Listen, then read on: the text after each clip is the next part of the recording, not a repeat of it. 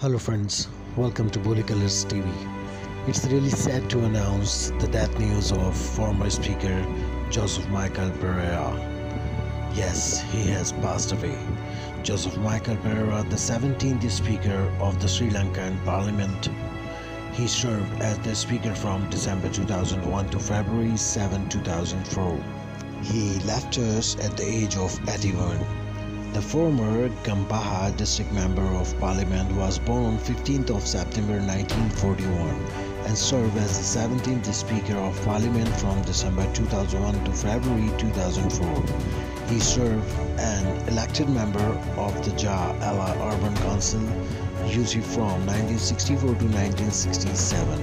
It's a request to all of you please type RIP for Sir Joseph.